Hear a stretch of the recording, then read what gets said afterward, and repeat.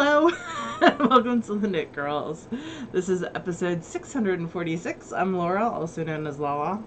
I am Laura. Well, I'm not Laura. I'm Leslie. Ah, um, yes. also known as You Don't Call Me Les. Today is the 11th of March, 2023. It's Pi Day, right? 3.1, no, 1 4. 1 4, never mind. And then the day after that's the Ides Ides of of March. Sorry, Julius Caesar. Yesterday was Mario Day because it was M A R 1 0. Oh. Um, it's possible that Nintendo is aware that I like Mario. is it? Um, I thought of you the other day. I have a new game that I want to show you. I think you might like. Anyway. Um so we are going to talk about knitting and some spinning. We both have spinning this week. That's exciting. Yep. This is mostly going to be the Laura show because I've got two things I've touched all week and that's it. Well, I have a smidge. Um, I do have a pair of socks on the needles. These are by Nomadic. Well, now I'm at the end of a row. The yarn. Yeah. So they look like this. I can even get out the tag. Ooh, I just found money. That's exciting. So Nomadic Yarns. This is her trusty sock base. It's 462 yards of a superwash merino nylon, and it's oi with the poodles already, which is a Gilmore Girls reference. This is actually the second sock. The first one is already done. Tell me you uh, you district tested at work without telling me you district tested at work. So, the first one is done. I wanted some shorty socks because it is, if you can't tell by the way Leslie and I are, it is very warm right now. Listening. um, so shorty socks I don't have a ton of. Typically I knit like six inch cuffs, so these are three inch cuffs. And yeah, I'm excited. Lots of progress on those. Um, and then the other thing that got touched this week is I picked back up my sweater and shoved all the things on top of it. So this is the Stripy Unicorn by Joji Locatelli. That was going to be my next question. Which sweater? Um, yeah, I do have two sweaters on the needles. I have this, and then I have a sweater out of a linen silk blend that only needs I-cord trim. Oh, yeah. I forgot about that. So, yep. So this got a couple of rows in it. I picked up my iPad and I had noted where I had left off. Ah, like a responsible Uh, person. Like, yes, thank you. And then I double checked that just in case I was not really a responsible person. Um, so this is the Stripy Unicorn by Joji Locatelli. One thing that I changed is I did change the top part to have ribbing. Um, it was a rolled hem. it was a, yeah, like a rolled, yes, a rolled hem at the top, and that bothers me. So went for ribbing. Um, I am almost two repeats through the increases. It calls for two more repeats and then um, a repeat of six. So I'm a little bit concerned about um, like depth of the yoke. yes, depth of yoke. Although the way this is laying on me, maybe I should be concerned about sizing a little bit more too. Well, it's all scrunched up Yeah, it Um, so there's that, and it has short rows in it. So one side is definitely shorter than the other. So I need to make sure when I measure it, I'm measuring for the correct depth. But usually, um, this is a raglan yoke hybrid, and usually on raglans, I go to like 10 and a half inches is like the perfect depth for me. So we'll see. And you're measuring that from like your collarbone to the middle of your Yeah, underarm. yeah. Where I like it to lie up here to yeah the middle of my underarm.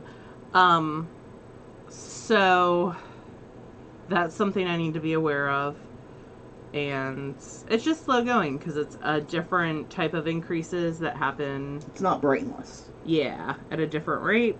So it's something I am going to have to think about. I am using my own hand spun, some Into the Whirled, Herding Cats colorway, um, combined with some Roundhouse, uh, Round Barn Fiber Mill Jacob. So yeah, and I'm knitting that on size threes, and my socks are on size zeros. So those are the two things that I have knit on. this week. It's been a lot more. Well, there's been some knitting because I have a finished object, but mostly spinning. I like this. I'll take this if you don't like it. I was gonna use it for um, a sweater, but if I end up not using it, then yes, I like it. I will Um, talk about it. in a She'll show it so that everybody can see it. Uh, so the only thing that I worked on this week, regardless of what the show notes say, is my directions sweater. This is by I don't remember um, Claudia Eisenkolb. That's what it is. And the only thing I've got left is I've got to do the neck, which will take like no time at all. yeah. comparatively. Well, I'm thinking about like five, ten yards. And I mean, I've still got a couple repeats on the bottom. Laura got excited I did get very excited. preemptorily. So this is the arm part, and then I have to do ten repeats of this sequence. Looks So like you're on eight right now. I'm working on the eighth. yeah, I'm really trying to finish this because I want to go to other things. and it's pretty, and we're getting into that season. Yeah, this is a linen silk blend, so um, by Oink Pigments. It's the and- DK weight. Um, I think it might fit. We'll see. Um, if it doesn't, it's fine. It'll go to somebody else that it does fit. Um, because I, I'm just, I'm not super diligent about making sure I'm staying on gauge, so I can't get upset if the things don't fit. So, um, I let that go a couple years ago for the most part. Like if it doesn't fit, it's fine. It'll fit somebody. And it's not like I can't knit another damn sweater. So, um, yeah. So I'm knitting this. Uh, I think it'll fit. on fours, I think. Yeah, three and a half millimeter There's needles. the zing needles. I think so. Yeah, they're Knit Pro. Yeah. So, um, the tips aren't super sharp, but this is a heavy enough yarn that it doesn't. They don't really need to be. Uh, They probably need to be less sharp because of the linen nature Yeah, it is a little splitty, um, but it's two different, very long staple fibers. So, um, that's it. I didn't knit on my socks. I didn't knit on my shawl. I didn't knit on um, the Well, you're trying to finish something. Like, I just really, I would love for this to be done next week, and it can definitely, if I actually put time into it, that can definitely happen. So, I think it will happen because we'll be at my parents' true. house. and I'm and- taking this for sure, and you know, one other thing probably. Do you have another sweater that you have work to work no, on? but I've got that painting bricks shawl, Yeah, which would be a good, that would be um, excellent. and everything's already skeined up, so that makes it easy. I'm gonna wind another skein of sock yarn and take the stripy unicorn. I think. Hopefully, I can get some between the car rides because Leslie drives. Um, hopefully, I can get some good progress on the this part. That's the plan for tomorrow. Is really buckling down I and like that too. I'll take all your spinning. this has a plan. Oh, Sorry, you can't have. Plus, it's Southern Cross, Damn and now it. it's like gold. oh, sorry. that I cannot get more of. Um, so I have a finished object. I finished my socks. You can have that if you want to. I didn't label it. Um, I finished some Geektastic socks out of um, toys, Oh, Misfit, Misfit toys. toys. And you can see how long those are. I just need to weave in the ends. So those are ready to go. I'm super happy. Uh, one of my coworkers was calling these the Rainbow Brite socks, and I am here for it. Uh, my little 80s heart is here for both those references. So those are ready to go. Here, I'll weave in your ends. Oh, thank you. And then what Leslie keeps trying to steal is some Suburban Stitcher Oatmeal BFL. This, um, so let me back up. Uh, uh, Jillian Moreno did a 100 day spin every day for 100 days, or think about spinning or work with handspun. Uh, her through her Patreon. Her Patreon is amazing. If you are looking for spinning content, it is my favorite. It's a great community, and um, I went a little bit bonkers the last couple weeks. Um, I was really putting forth a lot of energy into spinning. So I have 30, well, I had 31 bobbins to ply. And total over the 100 days, I spun 174.2 ounces. Um, I've given away over a pound. This will make it well over a pound and a quarter because I gave Holly. Holly, Lowell, you, then you again, and then I knit. Um, I spun and knit a scarf and gave that to Lowell. Oh yeah. So, I've I've gotten over, I've gotten an ounce and four. No, I've gotten a pound and four ounces out of the stash, which is nice. Um, it's just loads of fun. I did not spin the most by far, but that is fine. Um, I'm very happy for the person who did. And it was nice to like really go through what I had because this coincided with um, Gwen coming to clean and organize. So now almost everything is in my spreadsheet, so I know exactly where it is and in one bin. And I've been making all the hand spun plans. This was going to be part of a It's sweater. No, it's fine. steal your stuff. No, you can take it. I have plenty more. And she's it's this is suburban stitcher, so I can get more. Um I am gonna make you label it yourself though, since you're stealing it. So uh, what I have in my hands, I started plying today. So I applied five five bobbins today. This is a three ply out of Suburban Stitcher Oatmeal BFL in the Swamp colorway. It is much prettier. Although the lighting's doing a decent job. Yeah. Outside it is gorgeous. Like it is just It's got a lot of more shades of brown and sort of topazzy. and green yeah like a green um so this is 220 yards so a true worsted of a three ply um i am intending to spin up some random braids for a sweater that was in the ply sweater issue is really pretty i'll have to show it to you because it's perfect for random braids Oh, cool. and you keep stealing my yarn. I do. So, and it's DK weight, so worsted will work. But um, I think you have some DK weight I hand do. spun, so I'll show that to you later. Um, so yeah, this is the first thing that got plied today. And It's BFL and lovely, and then the other thing that Leslie tried to steal that she can is eight ounces of Southern Cross fiber. This is 650 yards after washing. It's going to be an Andrea Mowry travel traveler cowl.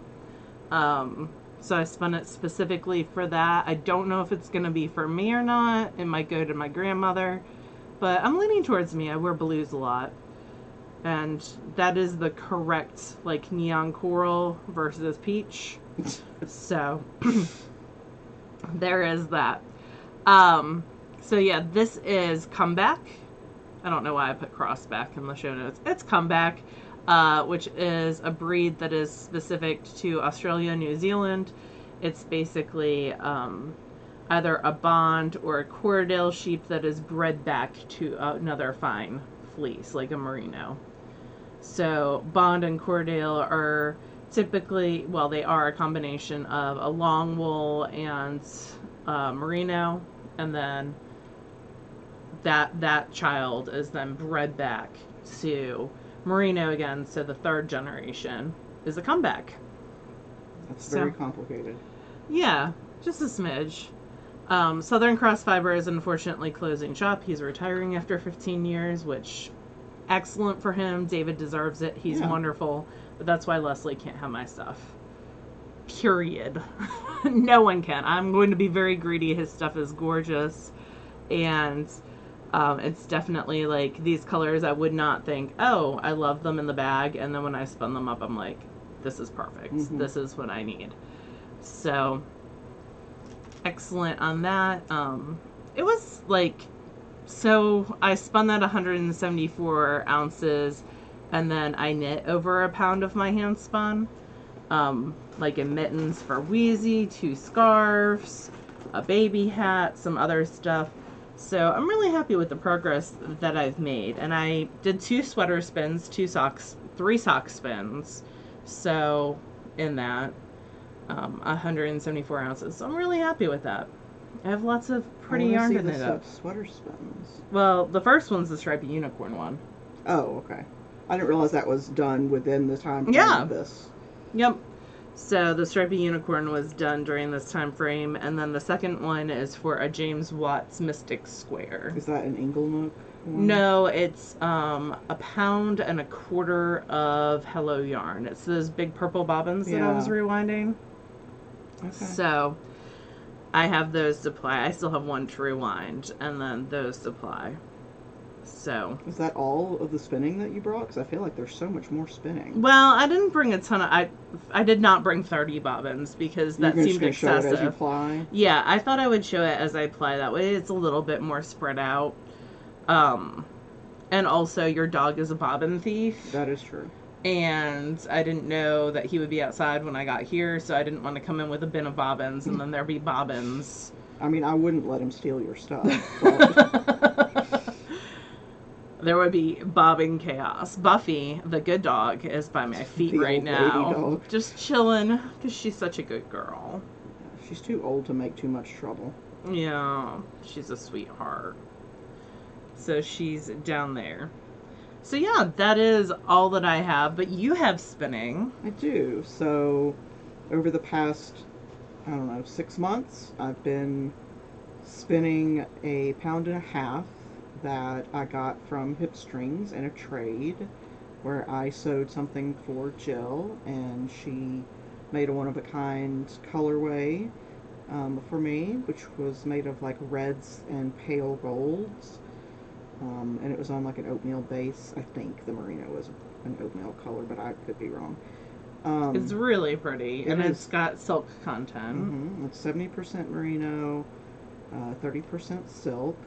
So I spun it, and um, I don't remember where I put the um, swatches, but uh, I spun it and then I rewound it onto weaving bobbins. I ended up with about twenty of them. I showed those last week, and then I applied it. I'm so impressed your dogs let you fly. Yeah, it was a balancing act of um, being able to do it with them around. So it was a lot of like trips outside to throw the ball, and then I would get about a half an hour of them resting Yeah. when I could could ply. So um, anyway, there are your socks. Thank you. Socks for me. Here. Because Leslie knows I just keep a pile of socks to weave in the end. So. Um, basically, I'll do anything to not knit on that sweater. So I finished um, applying, and then I took these over to Laura's yesterday so that I could use her Daedalus um, Whirly gig. whirly gig to um, lined off, and it's got the electric counter built into it, and it's um, very fancy. So uh, I ended up with about 2,000 yards after shrinkage. I'm being very generous with my percentage of shrinkage, um, and I ended up with yeah, like so pretty. about 2,000 yards of a worsted slash DK. Um, I'm really happy with it. I I'm still pattern hunting, but I've got a couple of options. I think a swingy, drapey, open cardigan. Yeah, be so. Holly made this one last year that I really liked, or maybe it was two years ago at this point. But it's called Growing, and it's like, um, you know, an open cardigan, and it kind of tilts upward a little bit at the front corners, and it's got these big pockets. Yeah. Um, and it's made, or it's designed to be knit with like fingering and a strand of like mohair or whatever. So like a DK. Yeah. Um, but the gauge works for Yeah. my swatch, so I might do that, but I'm not going to even think about it until I'm much closer to being done with my SSK stash because I am feeling the pressure to finish it. The pressure I'm putting on myself, no one else. Yeah, so what do you still have left in the SSK stash? I've got three skeins of a sport weight of solid sport weight colors from Why Not that I'm going to use for colorwork hats from Tin Can Knits and the Candy Shop um, collection. yeah. Um, what else have I got? I, three or four skeins of fingering weight for socks that I need to make.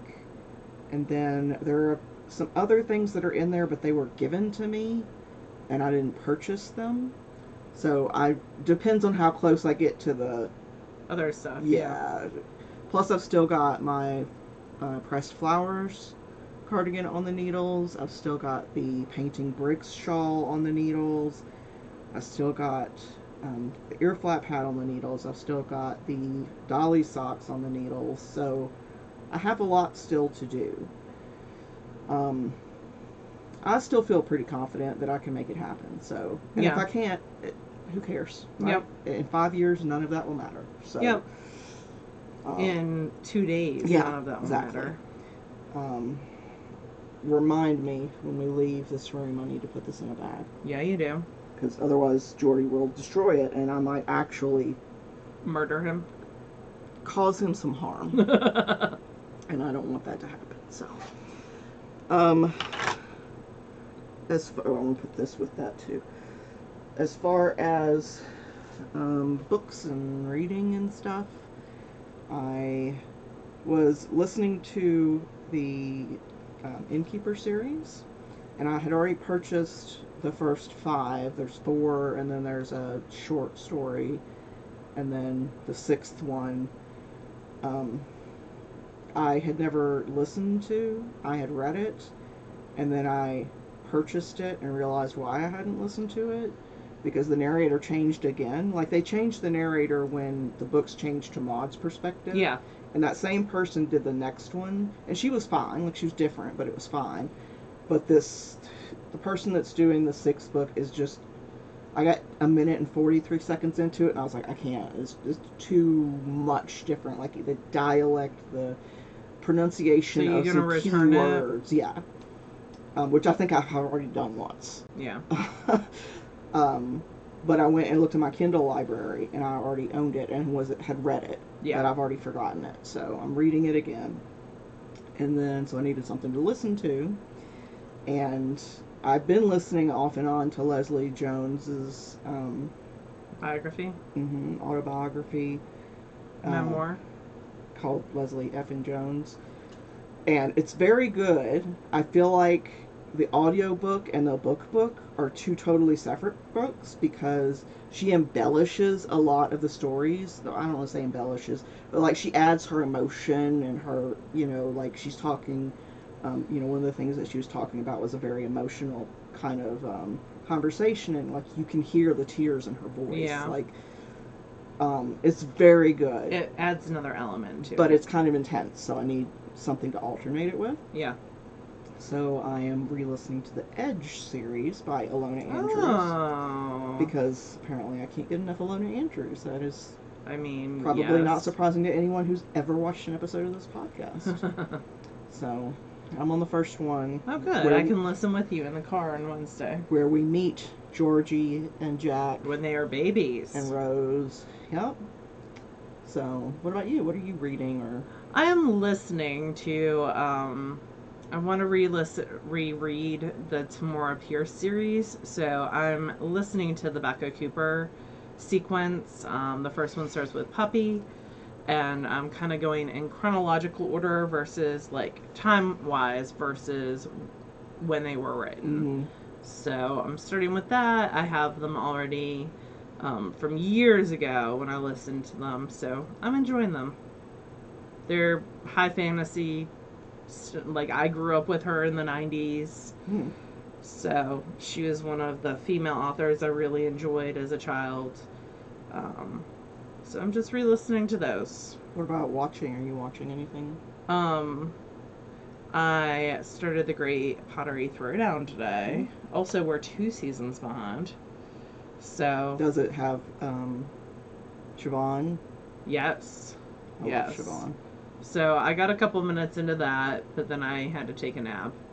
Um, not because of that, but because when I am on spring break or any break, Leslie knows, my brain's like, freedom! Mhm. And I switch to my normal, not work schedule, which is I stay up till like 2 a.m.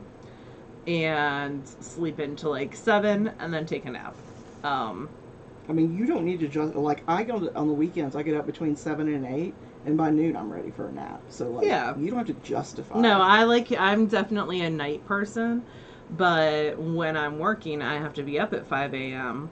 So a lot of times I will go to bed at like 10, 11. yeah. Unfortunately. If I had to be up at five, I would probably be in bed by like nine or ten. so I start my like wind down routine. I have been playing a lot of Disney Dreamlight Valley because that's something I do when I'm off. Um, and thinking about other, I've been watching some YouTube videos on other cozy gaming things. So nothing super exciting. We've been catching up on Drag Race as well. We are still two behind Yeah. Okay. because I was watching the pit stop today, Oh, and there's still two. Okay. I enjoyed. I've only watched one pit stop this time, and it was the one with James. The recap. That's like one the of the newest James Mansfield. Yeah, but it recaps where we are too. Oh, okay. Then we're only one behind Okay. because I saw there were two episodes behind a pit stop, Okay. so I assumed one of those was a new episode. yes, and it's highly sponsored by Ah. a hair dye company. Okay. Um, because he has to work on the wig as Yeah. they talk about the thing, and I love James Manfield. Yeah. He's like the right amount of snark. Um, so there is that. Um, yeah, I've just been doing a lot of spinning, enjoying. I zoomed with some friends, just doing my zooms and doing the SSK zooms and just enjoying enjoying life. good. It's nice to have this little week off so that I can do catch up on things like housework. Yeah. I did a lot of laundry today. Yeah, I've still got laundry I've got to do so that I can actually have clean clothes to take to your parents' house. Yeah. Things that are important. I did miss like taking the garbage to the curb this morning because usually I do that When you're leaving. Sunday night or Mhm. when I'm leaving, and usually they don't come till like 2 p.m. Well, they were here at 7 a.m., my friend, because when I took it out at 8, they had already come. Yeah, But yeah, luckily I won't be there yeah. for to generate garbage. to generate garbage. I can just go right back out at the curb. Um, if I get into a real bind, the Airbnb can help out. Um, I can't remember anything that I watched this week, so it must not have been anything good. Uh, yeah, there's a couple things coming out soon that I'm interested in. Taskmaster will be out soon. Yeah, Taskmaster season 17. Laura and I watched the uh, YouTube thing with um, one of the hosts and what's the guy's name? Ed Gamble Ed Gamble, a previous contestant. Um, discussing who was going to be on. and I know none of the people that they listed, which I mean doesn't mean I know one of the guys because he was on uh, Ted Lasso. yeah, yeah. It just means that they haven't been on anything I've seen, but that doesn't mean they He's a popular. good villain on Ted Lasso, so it'll be interesting to see him not in that role. Yeah. Um, I don't have anything else. Do you? Nope, and it's warm up here. It is warm up here. Um, all right. Well, you guys have an awesome week, and we will talk to you next time. Bye, y'all. Bye. all.